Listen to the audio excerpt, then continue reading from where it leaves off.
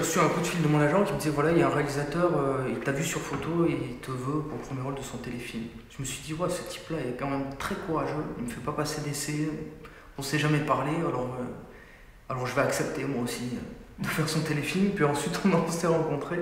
Quelque chose de très simple, très vrai, euh, sans faux semblant, quelque chose de normal en fait. Puis c'est drôle parce qu'après, il a fait son chemin, j'ai fait le mien, et puis. Et puis là, on se retrouve et je crois que c'était le moment parfait. Euh, parce que je crois que de nouveau, on a des, choses à se dire. Euh. Mais, euh, mais une chose n'a pas changé, c'est que tout à l'heure je disais normal, ça peut paraître basique, mais c'est pas si basique que ça de rencontrer quelqu'un de normal.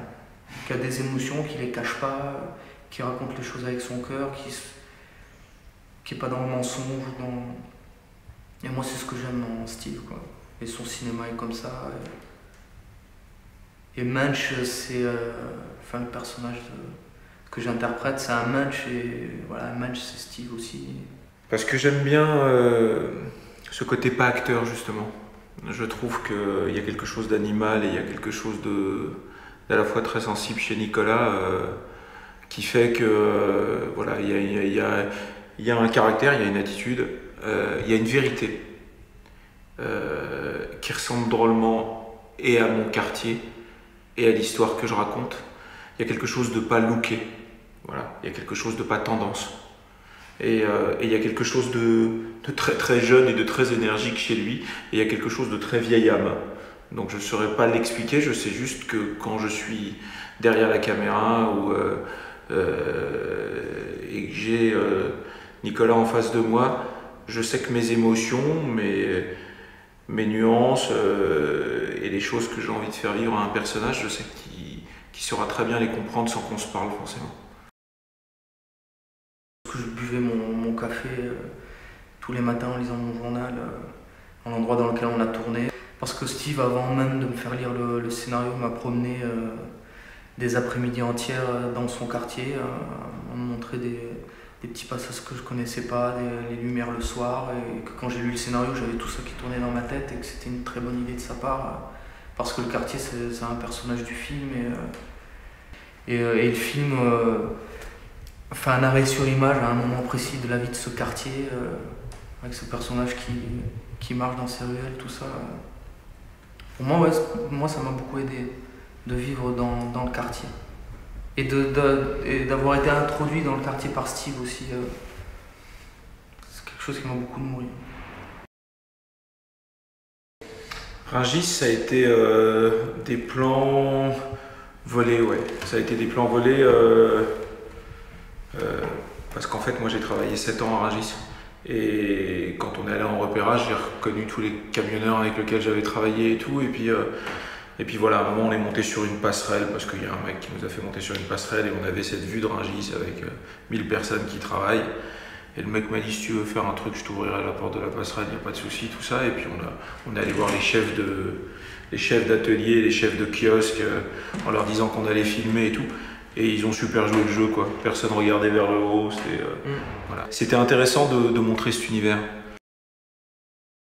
C'est-à-dire qu'on s'est servi de tout. Tout est à l'image.